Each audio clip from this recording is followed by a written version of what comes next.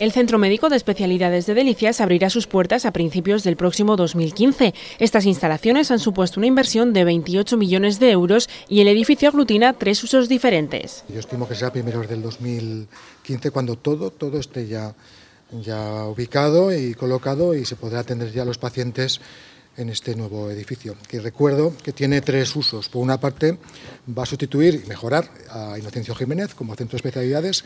Por otra parte, va a servir de sede el 061, con un equipamiento específico para lo que son urgencias.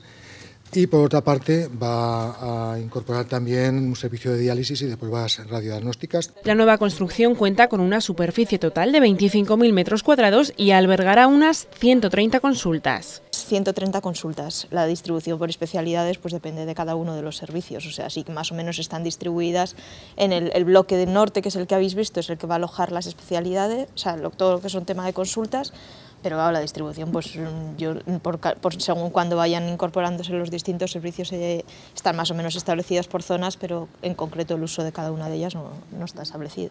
El centro dará servicio a 400.000 pacientes y el diseño polivalente de las estancias permitirá aumentar o disminuir el número de consultas en función de las necesidades.